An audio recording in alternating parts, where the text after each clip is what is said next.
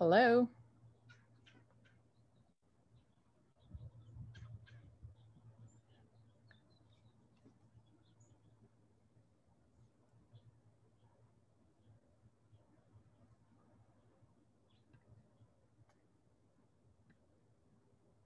Mm, I can't hear you. Uh, should be able to Oh, now. no. How's that? Oh, Yep. Awesome. Hi, hey Jeff. there. I see you're outside despite the weather. Uh, well, despite the weather, it depends where you are, right? Yeah. I'm Yeah. currently in South Carolina, normally based in DC. Okay. Where are you? Uh, Oregon. So Oregon. definitely not taking a call outside. I, I'd be wearing extra layers if I was. yeah. The, um, so I have to ask, any relation? Oh, to the uh, comp- Yeah. um, yeah, violinist? Uh, not really. No? Okay. Well, it's my husband's name too, so I cannot. I Yeah. cannot. Yeah, but his sister believes like she did some research and there may be, and my husband thinks it's just wishful thinking. I. Yeah. It's not that common of a name, and everybody has relatives. So, um, Yeah. the um, um, Hello, You know. hello. I've got one of those friends who's like 278th in line for the British throne, which means he gets nothing. Um, yeah, but you can claim you're related Mhm. to, you know, Yeah. some royal blood, blood, like yeah. blue blood running into in your veins. Yeah. Well. yeah. Okay, so, It sounds like it's gonna be a rather small round, right? yeah, we were supposed to have a different An agenda for entirely today, different. and so I didn't set anything up because I was expecting this other agenda. So um, I guess we will just briefly go over status stuff to the extent that we can, particularly given that. Um, yeah, so I I think what we can do since we have, um, so forward looking, our intent was to have kind of like either a separate maintainer circle meeting or, um, yeah, that, that. So Mhm. basically alternating the, um, uh, every every two weeks a standard uh, SIG contributor strategy meeting, and then uh, the alternating two weeks would be um, the maintainer circle meetings. So since you're here, uh, we'll pretend this is a maintainer circle meeting, which was planned to be, um, and talk a little bit about containerd maybe. Uh, not Linkerd, Oh, excuse me. I was gonna So many say- what I was going to say is, is, you know, um,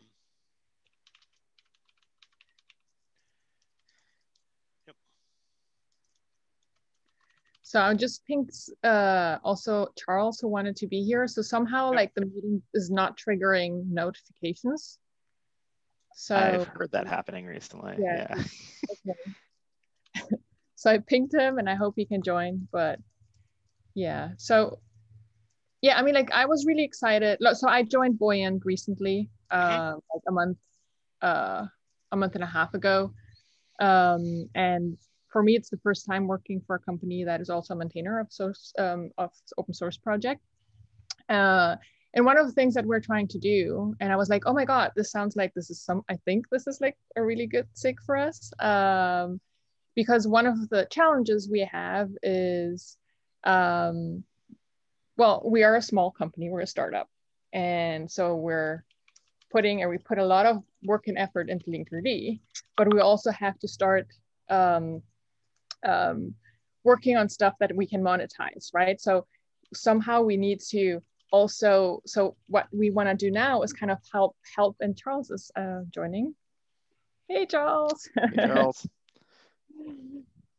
and uh, yeah, and Charles is a field engineer with Buoyant. Um, maybe yeah, just yeah. Oh, and and before I said like I I'm I'm I'm uh, head of marketing, so I'm on the marketing side, and Charles is a field engineer, so he really helps people on the technical side, right? And so one of the things that we wanted to do is like, okay, how can we engage the community more? Because it's a lot of the work has been done by people like Charles and some other people who are like really like writing content, uh, uh, being on Slack, helping out. And we want to incentivize the community to be more engaged because we're always, I mean, like it's all about community and, and, and, and, and open source, but people focus a lot on contributing code.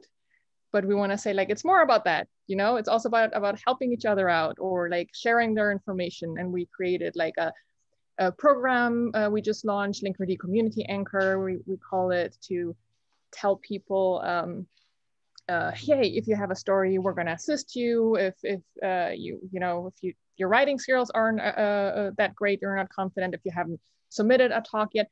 And so i was wondering so yeah we're trying to think around those lines and i was wondering if that is any because i'm sure you discussed lots of different things uh, but if that is kind of the stuff that we can discuss here too is like how to engage them more. And it's like because that's been always like the big challenge for us absolutely so uh so what was the name of the um project uh linkerd community oh the uh, linkerd community anchor anchor cool yeah, we just launched it, and the CNCF is going to uh, post a blog post on Monday, I think, that we wrote out. But okay, cool. Yeah, yeah. and if you have um, if you have anything that you're interested in forwarding over to our list, um, we have a mailing list as well. Give me a second. Uh, it's yeah, it's higher up in the doc. Um, list.cncf.io slash g cncf sig community strat uh, contributor strategy. Very easy to remember. Uh, but yeah, I think that um, you're you're touching on something pretty uh, pretty important um, around you know. So Josh and I are are both in the Kubernetes community as well as um, Josh has uh, had some time in the Postgres community as well by some time i mean lots of time lots of time, lots of time. Uh, so the um, one of the big things that we have turned focus to community wide is, is kind of like recognizing and enabling non-code contributors, right? Um, and um, as a, I'm also a Dex maintainer, um, which is CNCF Sandbox, and one of the uh, one of the things that we run into is we have a lot of folks that are um, are maintainers in the classic sense writing code, maintaining uh, maintaining the project overall, um, and maybe a little less of the uh, softer program management skills, content management, um, and that's that's something that we're looking to fill the gap with. Um, I think that Kubernetes has, I, I, think Kubernetes has the mass to do mm-hmm. so, a lot of these things, um, but considerations around, you know, like when I think of Dex, we're we're spinning up a website, or we've spun up a website, and it's like, okay, who maintains this now? Right? Like, do we have the skills within the maintainers to do that? Do um, you know, thinking about um, information architecture um, how do we get people to the places that they need to go quickly and easily right and um, you know in terms of sustainability like i want to everything that i do i want to build more maintainers. Like how do i do that? Right? Um, and also thinking from the the field engineering perspective because i'm former field engineer and solutions architect um, i don't want to do that day to day right? Like the your your primary driver is essentially building products and solutions for customers right? Um, and and pushing that feedback into product roadmaps right? Or project roadmaps. Um, so how do we do that effectively right? Um, so i'm just saying lots of words. Stop me please. The, um, but but actually more it's um, i actually wanted to back up and say um because linkerd has been around for a while um, right? Y'all are are kind of the first service mesh. Um, so, what is your current community situation? Yeah, I can answer that. And so, Josh, it's good to see you again. How, and howdy, Stephen. It's always always a pleasure to be on a call with yeah. you. Um, so the current situation is uh, we we ha- we're we're at the point where we have to be really engaged with folks from the like the maintainer perspective and um, where we're which is fine that's what we want to do we want to be the shepherds and the stewards to make sure that we have a healthy healthy community. And what we're looking to do with the anchor program that Catherine mentioned is to get, you know, basically ambassadors or captains or w- whatever the analogous term is to have folks who are who love Linkerd, who want to use it, and who are so excited about it that they want to share their experiences with it. And the, that's our approach to growing the one, that's our current primary approach to growing the community. Uh, should this not give us the results that we want, we'll go back to the drawing board and see if we can figure out another plan. But this is, seems to be the tried and true approach. And so, um, yeah, we just I forget how we discovered this the SIG contrib growth group, but mm-hmm. um, this is certainly something that we could use right now. Um, we're using Slack and GitHub as our primary interfaces with folks. Uh, we have a discourse, um, but it just doesn't get a ton of traffic. It's mostly for Linkerd 1 stuff, and uh, there's not a ton of Linkerd 2 content on there. So things that we're thinking about are uh, as how do we get content? Um, and we've got a good plan there where internally we're having each of the the maintainers or contributors um, generate one blog post or one tutorial once a uh, once a month. So that'll keep us if if nothing else changes, that'll keep us uh, going. We'll have one piece of new content for the next like 18 months. Um, but our goal is to grow that and to encourage folks again who love Linkerd. Like we don't want people, we don't want to, we don't want to make or ask people to do something that they're uncomfortable with. We really want people who are excited to share what they're doing with open source technology, how they're integrating it with other pieces of open source technology, and gluing these things together. And these are a lot of the conversations that I have with folks on Slack, just as like DMs.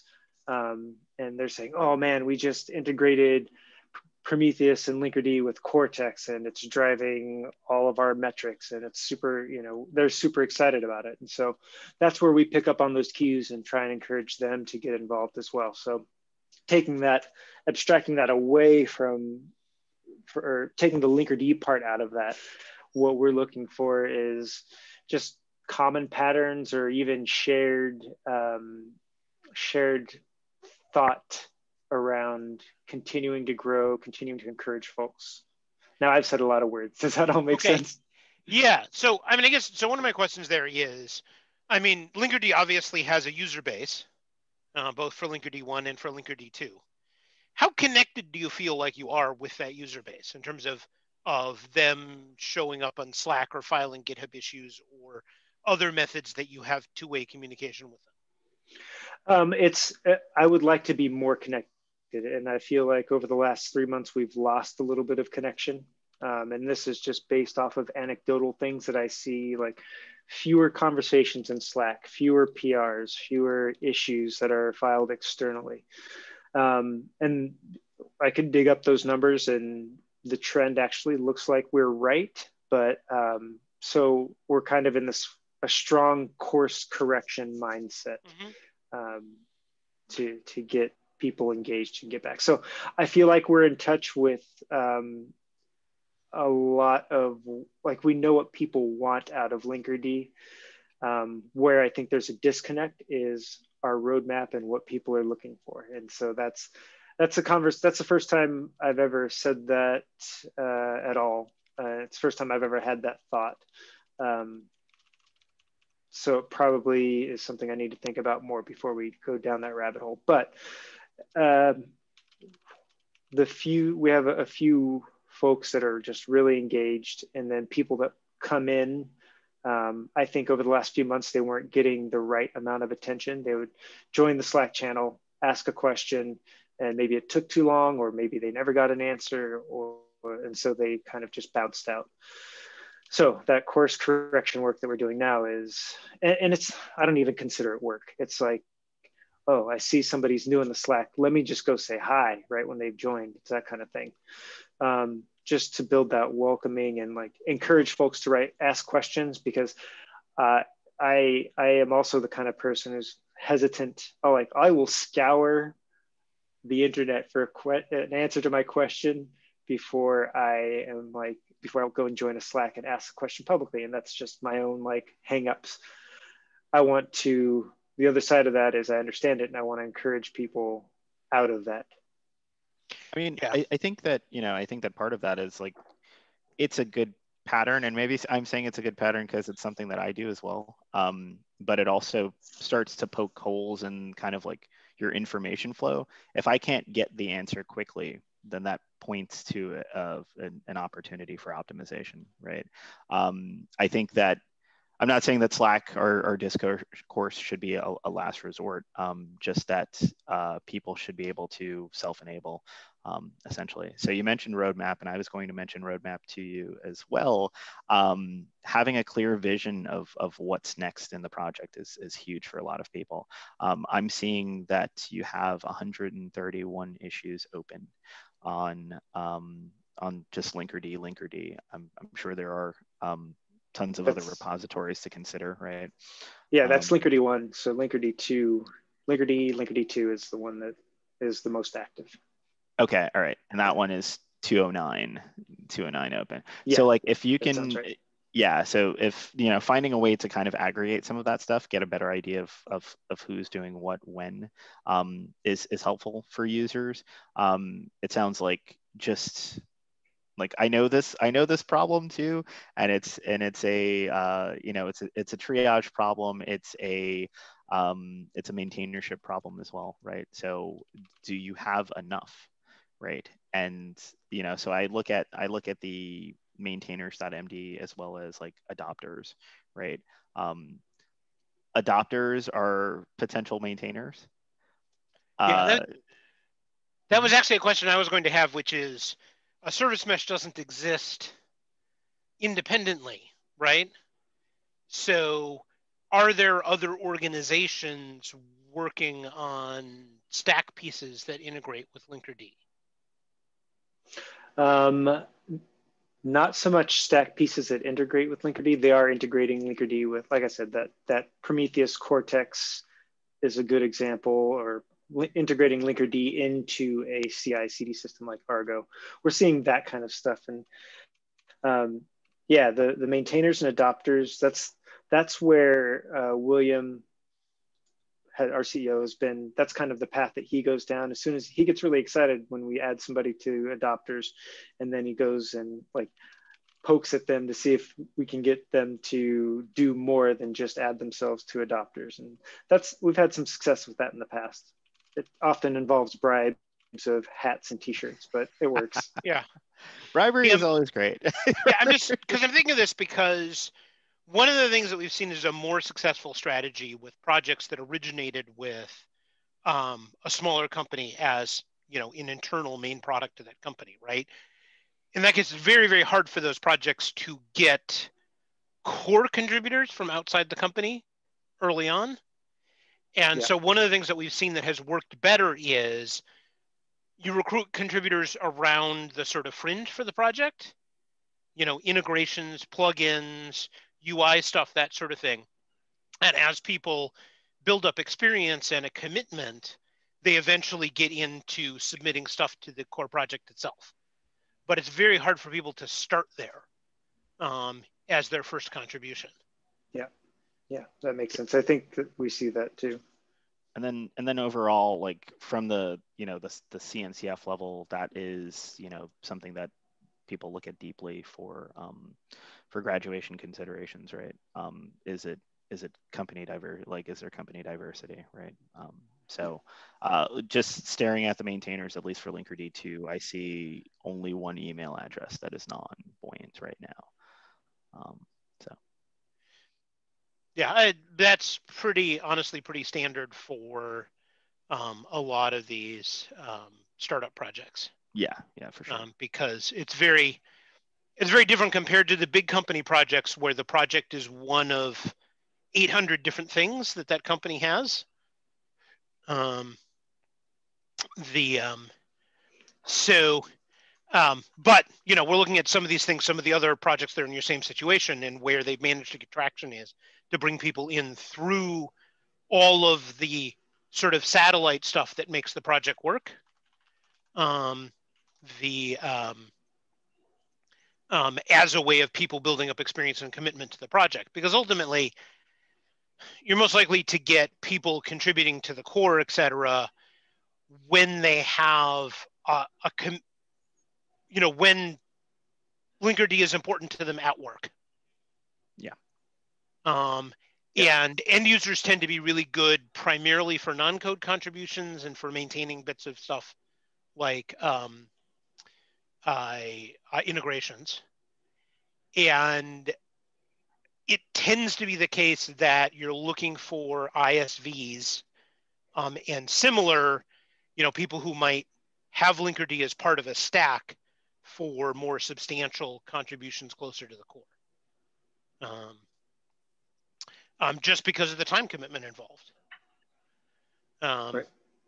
The um, so, um, but I mean, it sounds like part of it, you know, begin with which you're already addressing the anchor program is is kind of connecting with your users, right? Because you have your pyramid, and the users is the broadest part of it, and then contributors is is almost is always a subset of users if in users you include things like integrators and tool builders, et cetera, which I do. Um, the um, um, the other thing that I'll actually ask is contributor path, right? Like say, you know, um, imagine um, I work for um, what's a good example of sort of general integrator? Imagine I work for Actuate and we've decided that we're going to offer something built on Linkerd for a customer. And there's stuff that we need that's currently broken or a to-do item in Linkerd. How clear is the path, right? Assuming that I, as a potential contributor, have the time to put in the work, how clear is the path for getting that contribution in?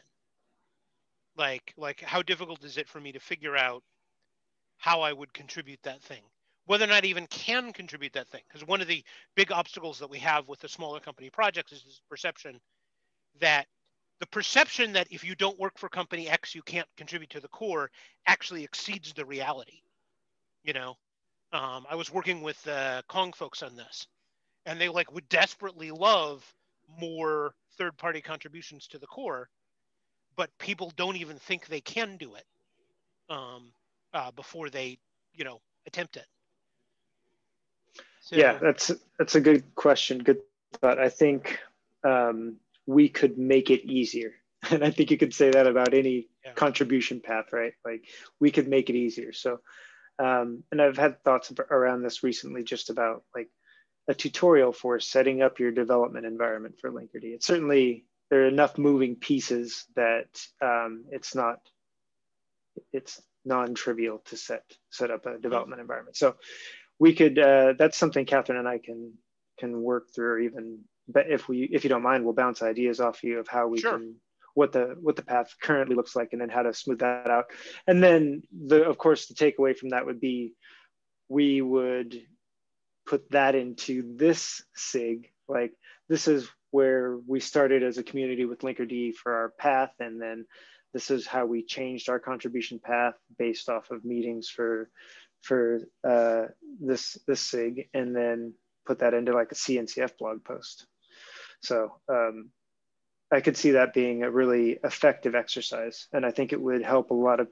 We're certainly not the only people who have this struggle. Yeah, I, I think we we for sure crave um, user experience reports essentially um, and from the from the project perspective this is the kind of um, this is the kind of work that one people want to see that you're actively doing so be vocal about it. Be vocal about like we have recognized that um, that there are ways to improve the uh, you know the way that we bring people into the project. Um, but also like the, the field engineering experience that you have is is is really massive here right? Being able to write um, being able to write user stories, right, and feed that into the product roadmap um, and make that roadmap visible um, is huge to contributors too. If I don't know what you're doing, I'm I'm a lot le- I'm a lot less likely to touch your project. Okay, taking notes here. Yeah, that's awesome. That's really really helpful.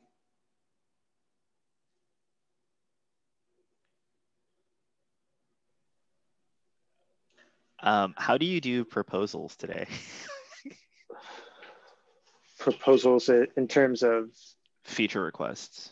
Oh, feature yeah. requests. It comes. They all come in through GitHub. Um, they'll. It, it, it's and that's kind of the manual part where it's up to us to pick up on them.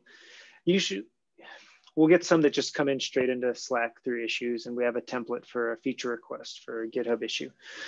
Um, but we also have people the the second most popular way is people will come into slack and they say hey does linkerd do this? Or it would be really cool if linkerd does this.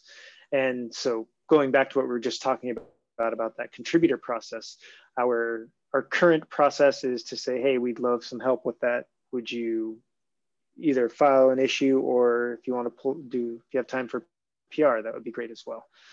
That's our current process and that's the one that i'm I need to think through that it, Catherine and I can think through that I think that we could make improvements on.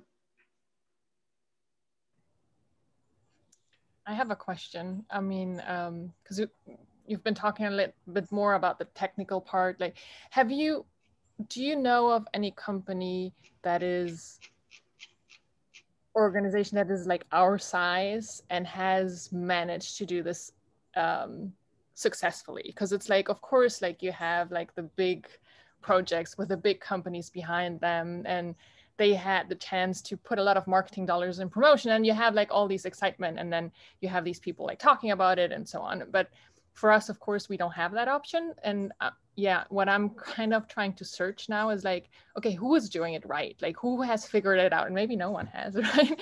But it's like that's why we're trying to do this anchor program and so on. But it's like who else has been able to engage and get people excited? What what has been getting people to speak about it publicly? What are I mean, yeah, like do you know of any company? So that would be hugely valuable. Hi Dawn, by the way. Hello there. The I mean, so maybe Amy. Oh, hey, Dawn. Maybe Amy or Dawn can think of somebody else. The ones that I think of that have been really successful were the ones where um, they managed to get other companies um, involved in core development um, uh, in in a substantial way. Um, which part of it just depends on sort of what your technology is um, and where it is in the marketplace. Um, and that's not really, you know, um, necessarily a great example. I'm trying to think of. Um,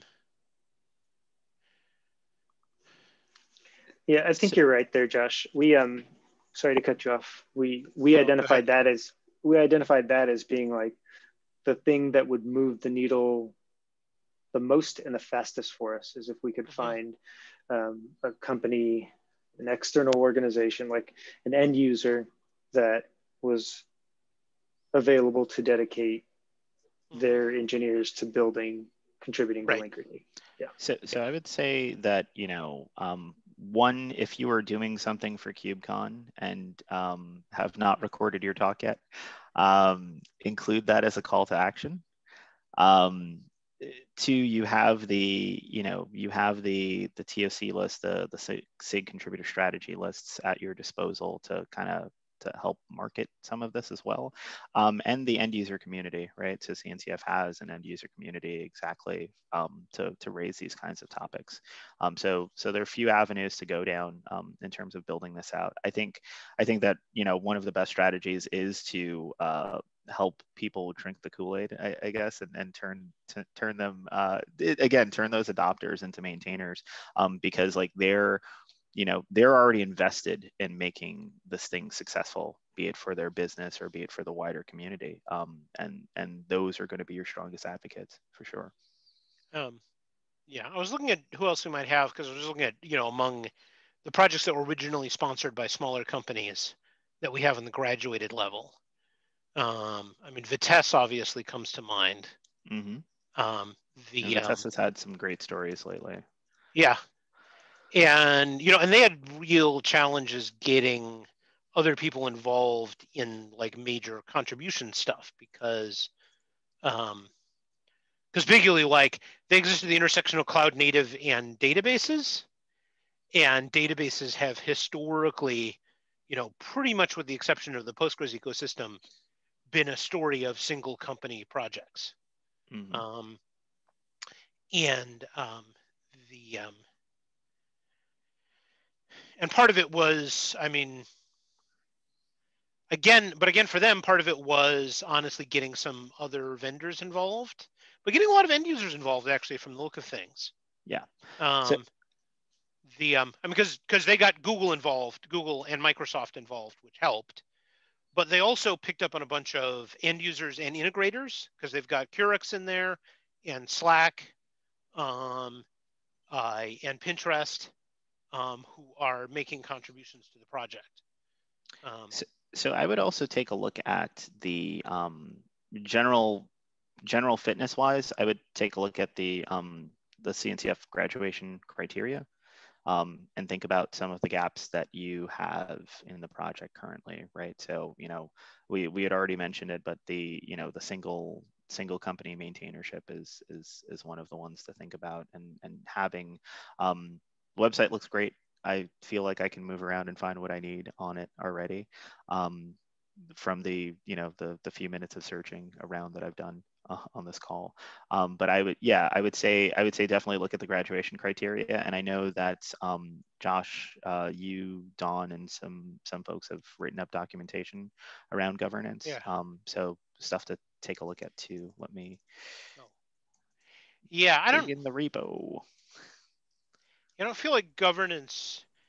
Governance actually kicks in at a different level, um, which is I think a different level because because where governance becomes important for growing your contributor community is after you have that initial engagement right so yeah I, I say that to say they they are incubating right now um, right and it's just something that should be generally yes. on your roadmap right yeah mm-hmm. the um so um the i mean actually i haven't looked at what they have for i have no idea how the project is governed the um, so dropping some links in Slack. Oh, but you have a file here, which is well, you're required to. so.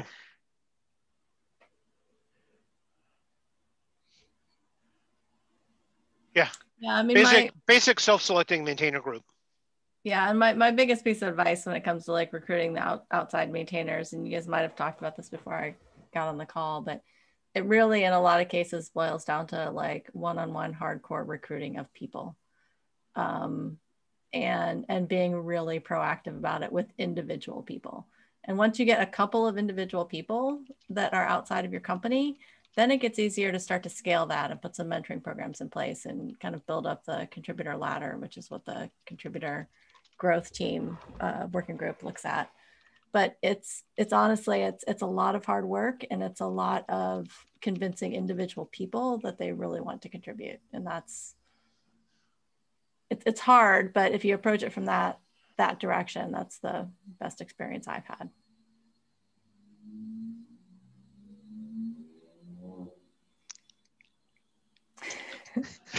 No that's yeah it's and we are i'm glad that we're having these conversations, and I certainly don't want to hijack the entire entire uh, SIG meeting for for Linkerd. Oh no, it's fine. we didn't. You are our we, agenda. I was gonna say right. We didn't. The only stuff, honestly, the only stuff we had on the agenda was check in about KubeCon prep. So it's really not. Okay. Um, they're really they're you know, this was actually I think every other meeting we're supposed to leave at least half an hour open for projects to oh, come wow. by and ask questions. So, um, so you are here. You did the thing. Great. Yeah. Yes. I will, I will, I will use We're my a very good agenda too. Well done. Yeah. Yeah. um, yeah. Well, thank you all. Um, yeah, that's Dawn. You're right. I think,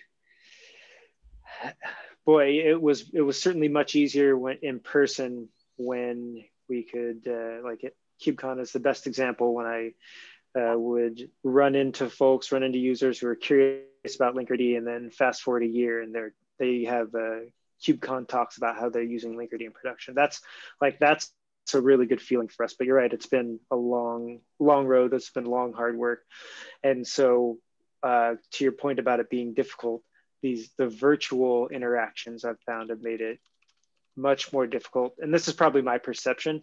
I feel like when I'm DMing somebody on Slack, I'm one of about 18 to 23 other conversations that they have going on at any given moment. Mm-hmm. And and my main, the main thing about that is I really feel bad about bothering people. Um, so uh, anything that I can do to offload their cognitive workload would be great. At the same time, I, I want to get them involved. I want to get them excited. So um, that is just a big ramble about. I agree with you that it's difficult, and there are hurdles to overcome in that regard. We all feel your pain, right? Because we've all we've all been in this situation before at, at various times in various projects. So um, yeah, so we're here for you. We feel your pain. We're happy to help in any way we can. I think in some sense, like we're, you know, for every, you know, for every Kubernetes sub project or something that we may spin up, it's it's a very similar situation where we have to do the recruiting, we have to do the one-on-one time with people, we have to think about um, the way that we want to market the the sub project. Um, so like you could you could see them as as as many projects in in and of themselves. Um, I think you know. Uh, very sensitive to the uh, very sensitive to the the Slack overload. Um, it's actually currently happening, and um, what what is maybe a good task to do is think about the questions that you get on Slack, right? Um, the questions that you ask and the questions that you receive on Slack, and say, um, did someone did someone come to me explicitly because I'm the only one who can answer this question, or because there aren't docs that explain that uh, you know explain that process well enough right? And those are some quick opportunities for contribution there too right? Mm-hmm. um, the you know if you've if you've onboarded you know one of my favorite things to do when like onboarding a new a new team member is like hey you're now responsible for the onboarding docs right? Like you know so so pen and paper uh, you know anything that you notice that caused friction in your onboarding process like that's now part of the onboarding process. Like you should write that in. Um, so you know, putting putting the power in in, in a contributor's hands to to to do that work um, is huge too. Yeah, you can also sort sense. of I don't know pull people in and sneak them in in um, you know in little ways too. Like there's a you know a, a pull request and it has some I don't know, some intricate something or other that you know someone else has some experience with and encouraging people, hey, can you take a review on this? Because I know you know more about, I don't know, Postgres or whatever than I do. Um, and so you can kind of like rope people in in little ways by just proactively pulling in them into things like answering questions on mailing lists, little reviews on pull requests, answering some hard question in Slack. And, and once people start to see other people answering those questions without knowing that you pinged that person and proactively asked them, that shows people that it's not it's not just your company that is responsible for answering questions and reviewing all of the pull requests. Because if that's what people see, that's the expectation you set. And the more you can do to change it in small ways, that helps kind of make it easier to to make it better in the long term. There, there are also, um, you know, more minimal permissions that you can provide to people. I think there's like a triage option um, on GitHub. So if you have repos that are like you have a few repos that could use triage, right? Is the is the short version. So if you have um, people who have been commonly uh, committing code or you know non-code contributions, um, pull them in for triage as well right? Or you can set up boards. Um, you don't have these don't have to be repo pin boards, but you can set up uh, GitHub project boards, right? And assign permissions outside of the repo permissions, right? So that way you kind of get around the um, uh, the the problem that you often run into where you have a, a repo um, scoped project board and the only way for someone to actually maintain it is to give them a, a, host of permissions on that repo, right? So having an org level one or having several org level ones allow you to bring people in as um, kind of PXM types, right? And, uh, and, and work on that. Yep, that's, that makes sense too. It's great. I have another quick question to Stephen. You meant that you said that, oh, if you have something, just send it to the mailing list. But the mailer list is like everyone who is in this, like, what do you mean? Like, for instance, with the Anchor program, you said, oh, just send an email. So, so I think, to, so we have, so the SIG itself has a, a, a mailing list. The TOC list tends to get a lot more traffic than we do. Um, and then there's also the end user group. Um, the end user group, we'd have to, Amy probably knows more about how we could activate that for you. Um, so I'll shut up now. um, yes, but Cheryl is the one who is is running that. I'm, that, I'm just that saying, is Amy, legitimately the answer. The... No, yeah, no, okay. the answer is Cheryl is the person to talk to for being able to work with the end user community. That is it. Awesome, thanks. Cheryl is my hero. Cheryl's awesome. Yeah. yeah. And Cheryl like has the perspective of like working on uh, you know, working on these projects as well. Um, so has some of that end user feel too. So this open source way is very useful as well. It's I I follow that repository. I haven't visited it in a while, but that's uh, something. Yeah, I dropped a link to the guide about from users to contributors because it has some it has some good tips in there that might be helpful. Yeah, I should have shared in general, this with Catherine sooner. That, that's a great a great resource for lots of stuff. Oh, let me get these links into the meeting notes so we don't lose. Oh yeah, sorry, I should have put them in the meeting notes instead of the chat. I was I was dumping in chat too, so. It's so easy, and then you end the chat, and you're like, oh where did my Oh no. that's what Zoom does. Oh. I feel like Zoom's part of the part uh, part of the family these days, right? it is. It really is. Spend more time with Zoom than real people. It's good. That's good marketing.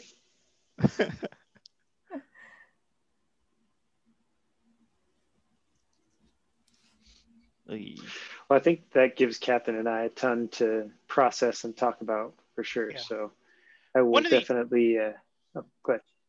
One of the things I would say is after you reach out to people, like when you have some kind of a line of communication going on there, based on something you said, consider having an open roadmap session where you like invite these ambassadors and anybody that they invite and that sort of thing to have a discussion about roadmap and it can be a frank discussion where you can say, hey, here's a bunch of things that people are already working on. Here's a bunch of things that people would like to have, but nobody from Buoyant is working on, you know? So if you want them, someone else has to step up. Um, and here are the things that we have to decide are these things ever going to be part of Linkerd, right? Because you have to every project has to decide what their scope is and that's that's a process you don't have to decide what your scope is just once you have to decide what your scope is multiple times because the environment you're operating in changes and the technology changes um, the yeah. um, and you know that both has is two things is one is it gives people a chance to participate in something a chance to feel part of the project um, and like they're being listened to etc and it gives you valuable information about what people are looking for um, I mean, particularly an environment where you're competing against other open source service mesh projects, product projects, right? And a big part of in a competitive open source situation, a big part of how you drive adoption is implementing the feature that the other ones don't have, and that it turns out that people want. Um, yeah, I, I think the hardest thing that we have to deal with outside of like all of the many many things in the Kubernetes project um, is uh, the at some point kind of like all of the responsibilities start funneling into um, the de facto roles for SIGs, right? So so the the chairs and and technical leads, which means they're doing um, you know they're doing the technical leadership stuff, they're doing the the, the cherry stuff, they're running meetings, they're, they're triage, they're building out boards, they're um, they're reviewing enhancements for for features.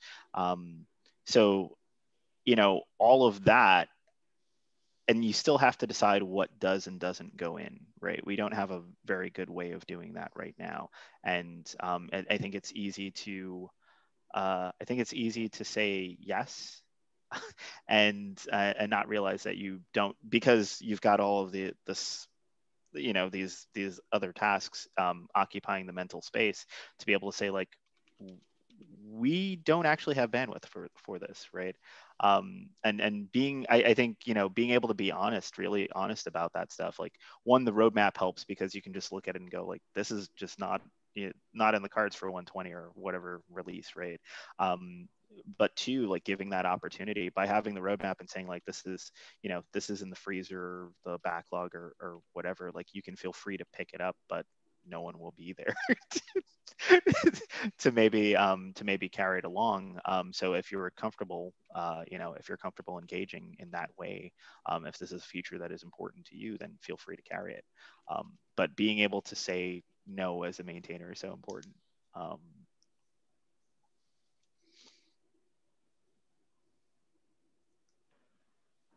yeah, I think I like the open roadmap session idea, and I, think there isn't a difficulty in saying no, oftentimes.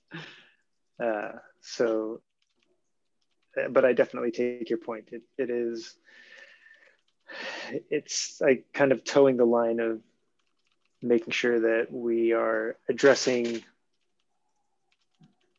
community requests and meeting project goals.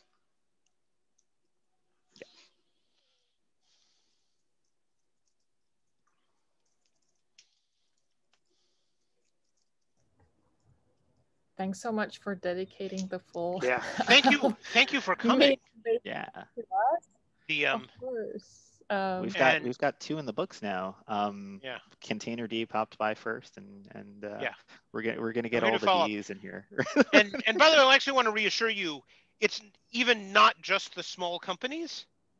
I will tell you that some of the projects that originated at big companies are also facing this particular challenge.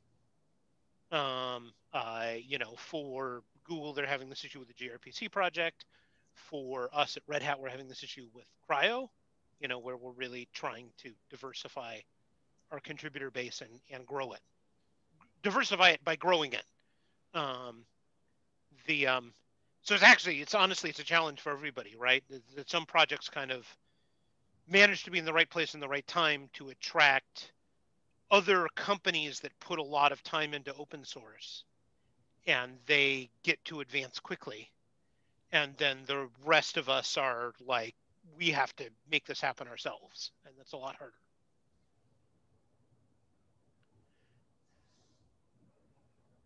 Yeah. Scheduling note here. Um, the next proposed maintainer circle would fall on November 19th, and I am assuming that all of you would rather be at KubeCon. Yeah. Uh, the the nod means cancel that meeting.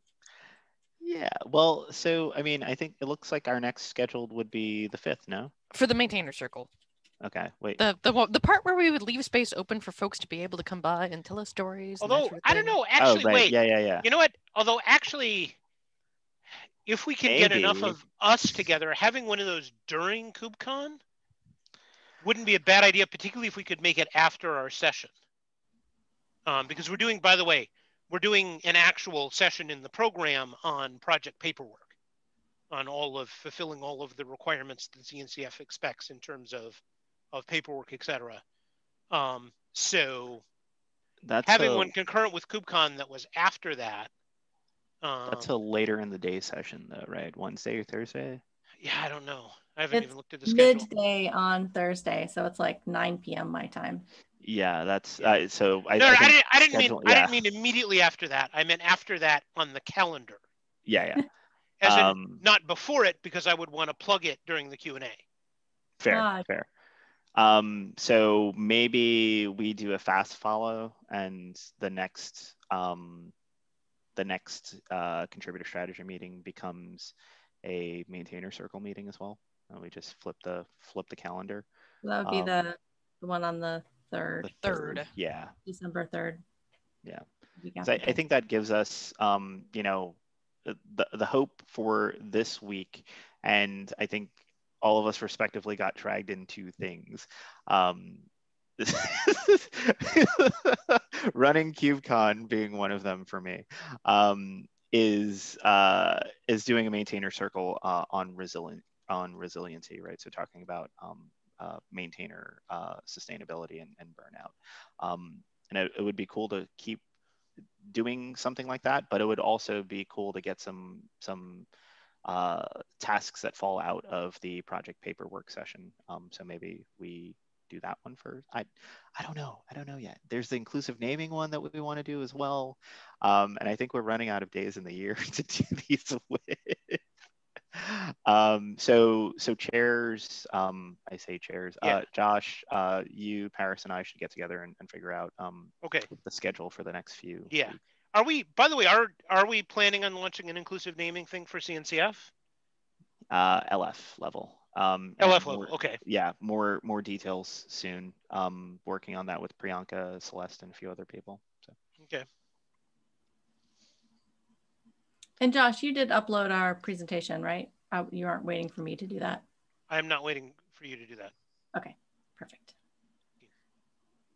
Yeah, your scheduling options right now are kind of tracking towards like November 5th or December 3rd for being able to do like, you know, other meetings take over. So yeah, I would say that maybe we shoot for, you know, maybe we shoot for immediately after KubeCon and let the um, let the November 5th meeting just kind of be a, a wrap up as we go into uh, KubeCon.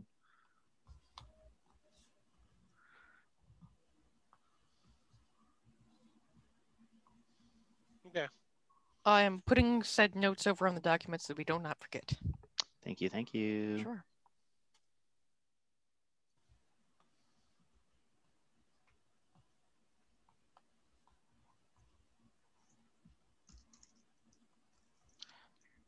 like this huge and hard to miss. Uh, that sure. sure. no, do anything you can, but that sort of thing. Um, so. um, all right, so I feel like we're good. Are we good? Is mm-hmm. there stuff we want to chat about before we go? No, other than just to tell the um, uh, Charles and Catherine, you know, you know where the Slack channel is now.